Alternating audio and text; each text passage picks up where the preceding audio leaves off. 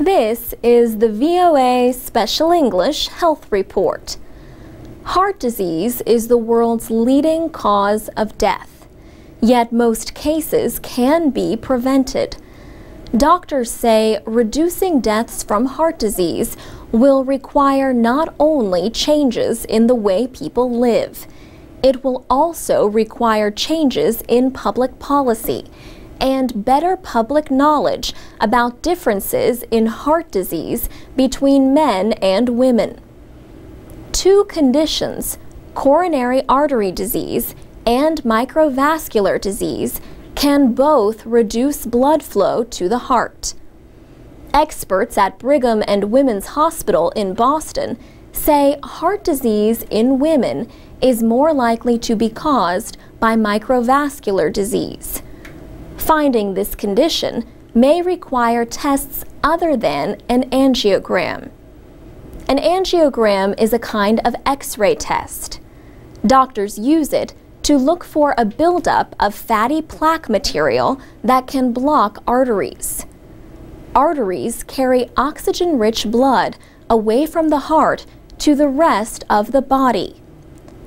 The World Health Organization says heart disease kills 18 million women a year. And these are not just older women. Carrie Vincent had a heart attack after giving birth to her first child at the age of 31. Ms. Vincent is now taking her message to women at meetings in their homes through an organization called Sister to Sister. Irene Pollin started Sister to Sister to educate women about heart disease. Ms. Pollin urges women to learn about their blood pressure, cholesterol levels, and other risk factors for heart disease. Ms. Pollin teamed up with a heart specialist at Brigham and Women's Hospital.